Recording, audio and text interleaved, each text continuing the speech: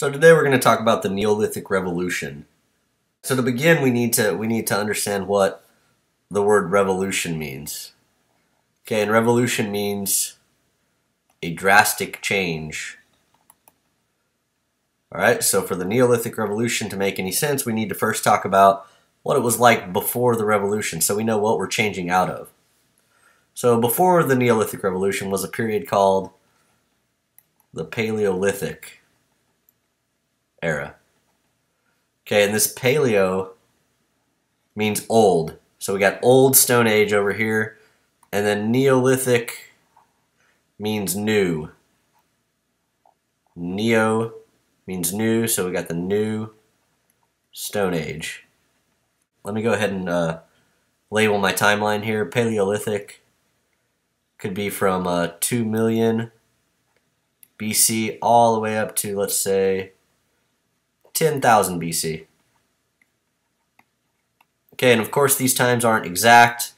Uh, it's not like one day the, the cavemen realized, oh, we're, we're in a new age. This is the Neolithic Revolution. This is something historians and, and people have come up with at a later date, and 10,000 BC is just kind of a nice even number, and it happened somewhere around there. So, what exactly happened? In the Paleolithic era, everybody was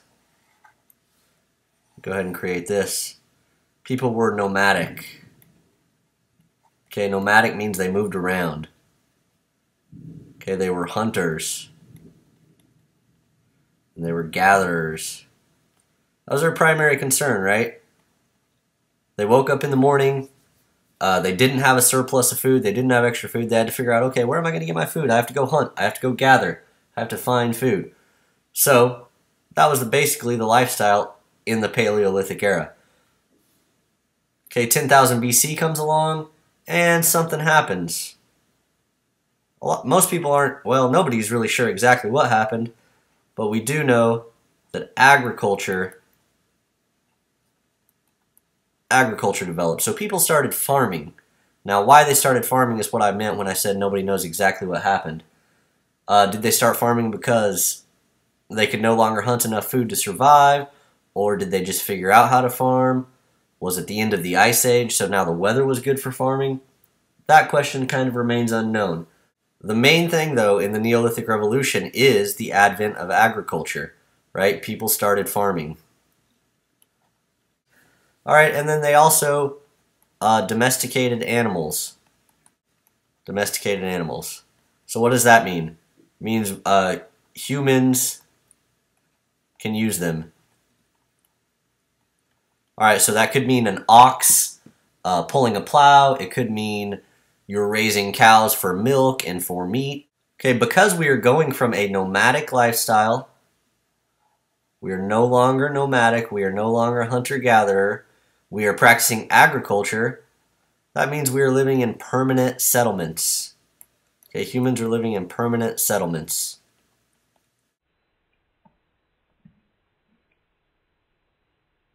So let's talk about settlement patterns really quickly. What do I mean when I say settlement patterns? I mean, where did people settle and why did they settle there?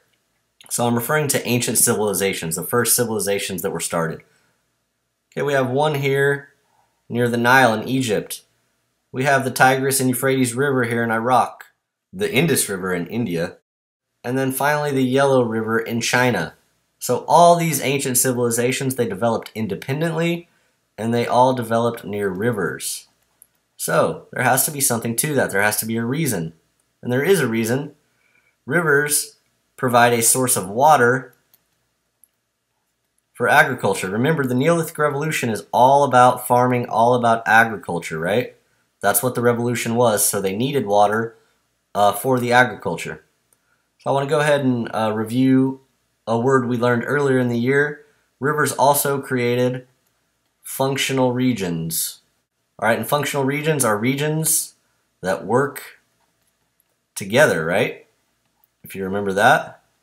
And they work together because the river serves as a transportation network. Right? You can travel up and down the river. You can use the river for irrigation. It can it can serve as a functional region. All right, another point I want to make is how the population density changed during the Neolithic Revolution or because of the Neolithic Revolution. Before the Neolithic Revolution, when people were hunter gatherers, uh, nomadic, they lived off the land, they had to travel, the population density was very small. And all population density means, guys, is how many people live in a given area. So in a certain area. So my green box represents the area. And in the old way, it might have been, oh, two or three dots, right? Not very many people there. You needed a lot of land to support people because you had to hunt animals, you had to survive, right? You couldn't have too many people on the land, otherwise there wouldn't be enough animals to feed them. After the Neolithic Revolution, when agriculture was developed, you had a food surplus. There was plenty of food so people could live on a much smaller area of land. Right? So there's going to be a lot more dots. A lot more people can live off this same green box of land, right? What other effects did the Neolithic Revolution cause? And there were a few of them. The first one is specialization.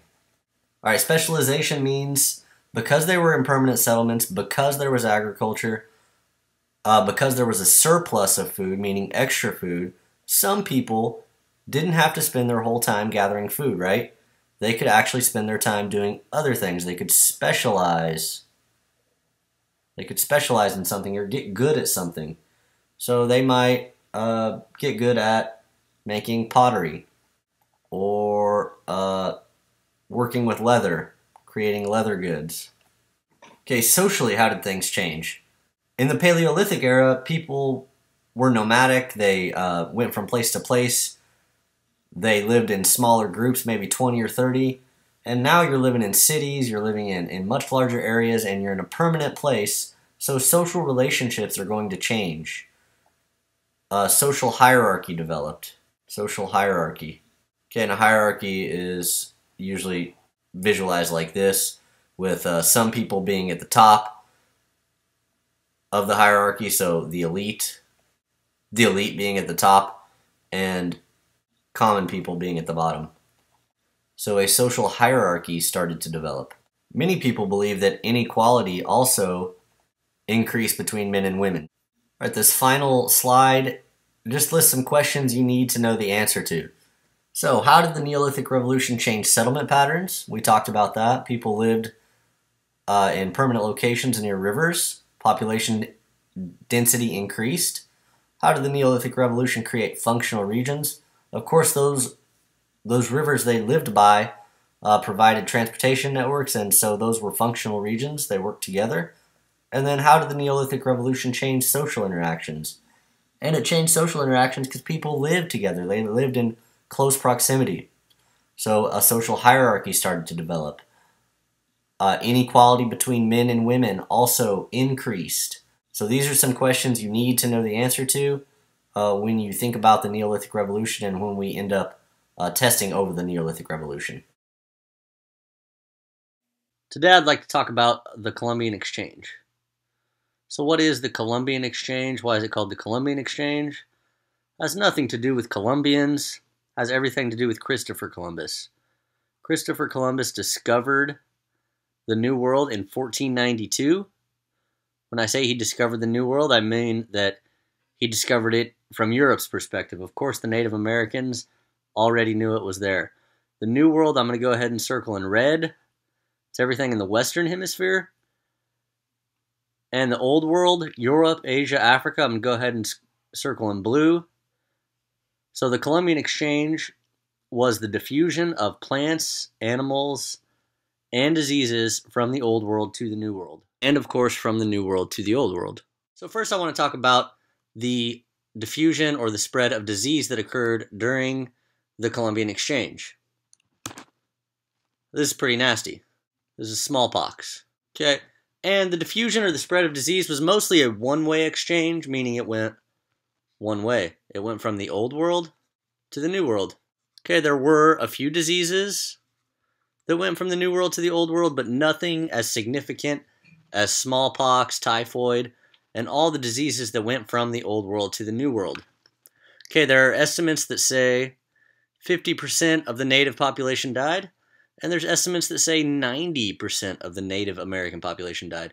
So smallpox was very, very deadly disease for the native population, for the New World population. Let's talk about the diffusion or the spread of crops from the New World to the Old World. So I'm going to go ahead and make a little graph here. And the graph represents what we have native to the New World and Old World. So these were already there before the Columbian Exchange happened.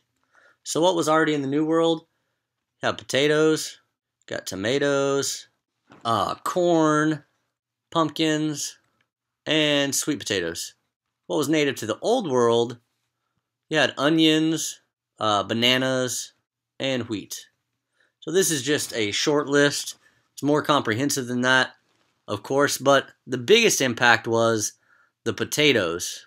Okay, the potatoes went from the New World to the Old World, and you could grow a ton of potatoes on a very small area of land, a very small plot of land. Uh, this allowed the cal the calorie intake in, in the Old World to increase, which meant a population increase. So, following the Columbian Exchange, largely to, due to the potato, uh, there was a population boom in Europe, particularly Ireland. There weren't even any tomatoes in the Old World before 1492. So, Italy, Italy had no tomatoes. That means no lasagna, no spaghetti, no pizza. I'm not sure what Italian food was before the Columbian Exchange, but it wasn't any good. Let's talk about animals. What animals were diffused, exchanged, transferred uh, during the Columbian Exchange? With crops and plants, it was mostly the Old World that benefited. However, with animals, it was mostly the New World that benefited. All the New World had prior to the Columbian Exchange, in terms of beasts of burden, was the llama. Okay, and llamas can't hold very much weight. So after the Columbian Exchange or during the Columbian Exchange, these animals uh, were introduced to the Americas. So we had the horse, the cow, and some pigs. Okay, these are all good for various reasons. Horse was uh, vital to Native American culture, right? Indians quickly became expert horsemen. Uh, they became nomadic because of this, many of them, and they started hunting buffalo. Cows, of course, provide milk, and pigs reproduce quickly. So they became a great food source uh, in the Americas. These aren't the only animals that were transferred during, during the Columbian Exchange. Uh, there were also ox. Many beasts of burdens went from the Old World to the New World, which was a great benefit to the New World. So let's talk about the effects of the Columbian Exchange. Let's go ahead and list positive and negative. And this is just real brief. Uh, the positive effect, or one positive effect, is uh, pizza, of course. But more seriously, we had the population boom in Europe. Uh, let's go with a negative effect. A negative effect was the Native American population was decimated by disease.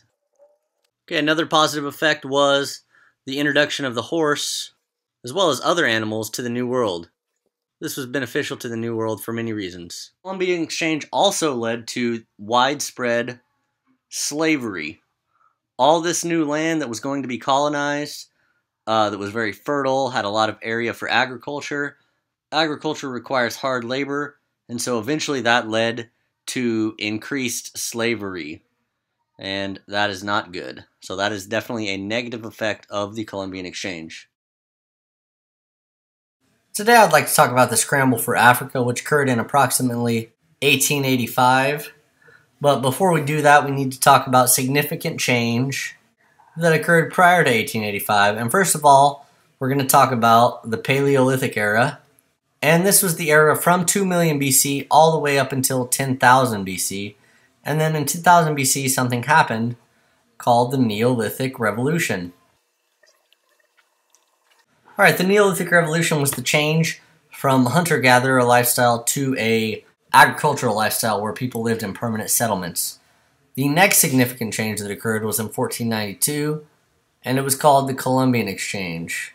This was when the New World met the Old World, or the Old World met the New World, and disease, animals, and plants changed from the Old World to the New World, or diffused. All right, in 1780, the Industrial Revolution occurred, or began. We haven't talked about that yet. We will get to that in the next lesson. But right now we're going to talk about 1885. What occurred in 1885? Uh, Common Era. and that was the scramble for Africa. All right, that was when European countries started to colonize and imperialize the countries of Africa. So that's what we are going to talk about today. All right, let's talk about the vocabulary you're going to need to know when you talk about the scramble for Africa. And the first two words you're going to need to know are colonialism and imperialism. And they're essentially the same.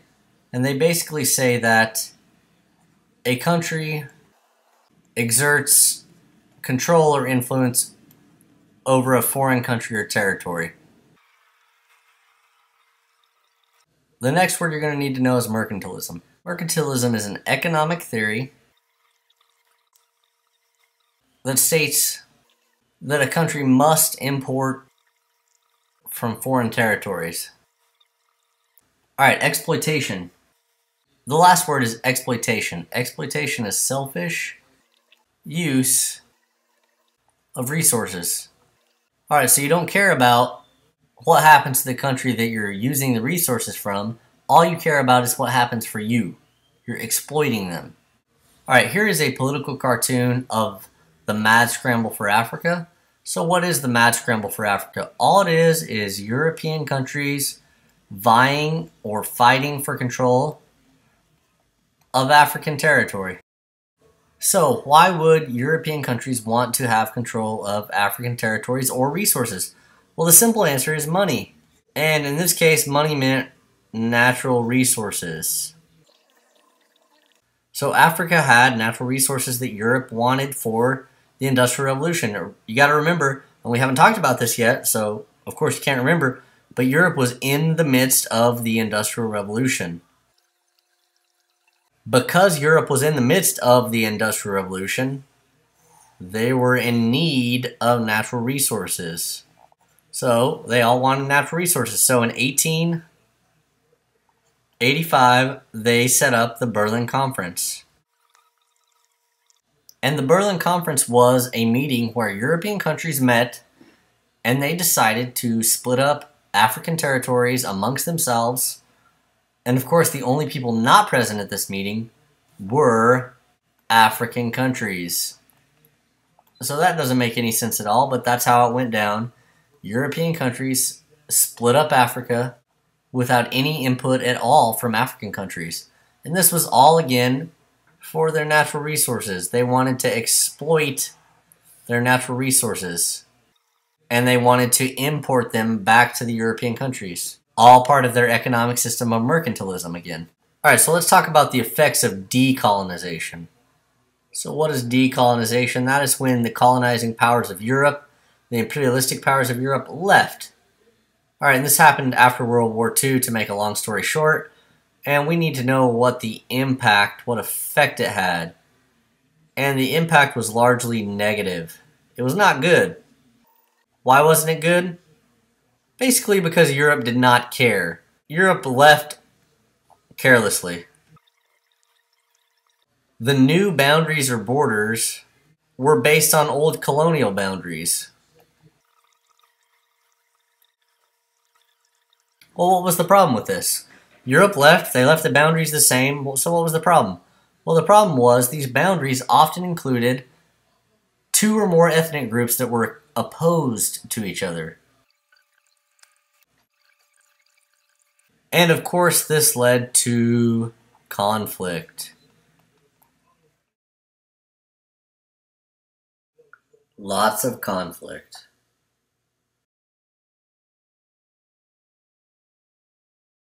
All right, so today I want to very briefly discuss the Industrial Revolution. We've already seen the word revolution in this unit before. Let's go ahead and discuss it again, though, real quick. Revolution again means a drastic change. So earlier we talked about the Neolithic Revolution. The Industrial Revolution began in about 1750. Mm, some some sources say 1780, but it was in in the mid 1700s in this in this range. And the Industrial Revolution began in Europe, in England specifically. What was the revolution? What was the change? And the change was moving from a system in which goods were made uh, in what we called the cottage system. And that's when goods were made in people's houses or homes. And this was very small scale, right? You weren't making a million shirts in your house. This was small scale. So we transitioned from that, and what what did we change into? Uh, most of us know the answer to that. We changed to the factory system. Okay, and the factory system is one in which goods are mass produced. This is large scale. All right, now I want to talk about why did the Industrial Revolution begin in Great Britain? And there are a lot of reasons it began in Great Britain, and we're just going to go over a few of them, as well as just why did the Industrial Revolution begin in the first place. So, one reason was improved farming techniques. And these improved farming techniques led to an increase in population. So, an increase in population. Well, with that increase in population, we had the labor force that was going to be required for the Industrial Revolution. We had workers ready to go to work in factories, so the labor force was ready. Another reason the Industrial Revolution began, specifically in Great Britain, is Great Britain had an abundance. That means they had plenty of natural resources. Okay, and as we learned earlier in the scramble for Africa, the natural resources that they didn't have, uh, they had the power and the ability to go get those natural resources. All right, and one more reason the Industrial Revolution began in Great Britain was because they had the capital, meaning they had the money. Okay, there were very wealthy people in Great Britain uh, that could invest in railroads and factories and mines, coal mines, everything that was required for the Industrial Revolution to begin. All right, so what were the effects of the Industrial Revolution? We're going to talk about both positive and negative effects of the revolution. Uh, one of the positive effects of the Industrial Revolution, of course, was new technology. Right? There were a lot of innovative, there were a lot of new inventions that were changing the world. Most of them were invented in either America or England. All right, we also had the emergence of the working class.